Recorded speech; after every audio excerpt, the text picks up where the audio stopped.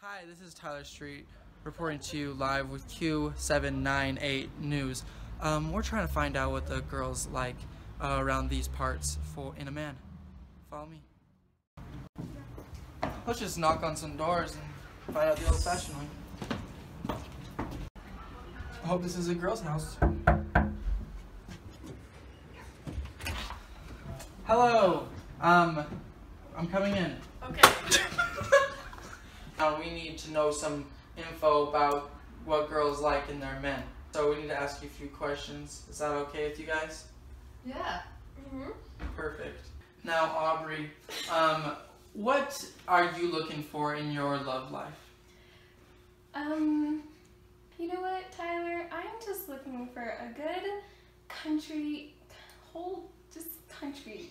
The whole package, huh? The whole package. Boots, hat, everything. You heard it here first. Uh, important matters facing Logan City right now. What are you looking for in a man? Well, I'm also looking for a country boy.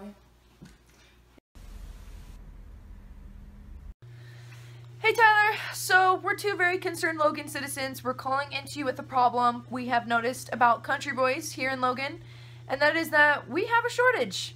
We have a bad shortage, and we were just wondering if you have any ideas on how to fix that. All of us here are competing for a way limited supply of country boys, and there's a high demand. Yeah, it's crazy. This is a supply and demand curve for the country boys at Utah State University. Here is the curve for demand, and here is the curve for supply. Right here, where the two cross, is called the equilibrium. This is where the supply and demand of country boys and country girls should be equal. However, here at Utah State, we have a shortage, and our demand is all the way down here.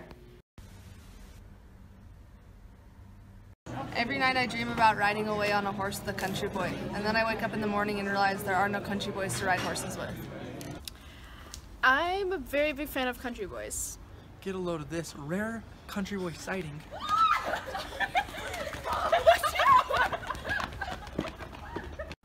dating is hard these days and i'm struggling to find a girl that likes me but i hear that girls are into country boys so i'm gonna go buy me some cowboy boots and a cowboy hat and hopefully i'll have some better luck Well, guys, I have to go. It's been great being a news broadcaster for you, but I brought up with a girl that I wanted to buy a cowboy hat and some cowboy boots, and just like that, she was like, I want to take you, you on a date. So I'm picking her up right now.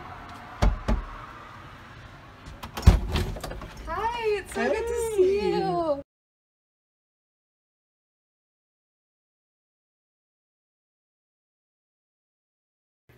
I'm Emily Gingrich, and I played The Economist, and I also contributed the script with studying and researching ideas.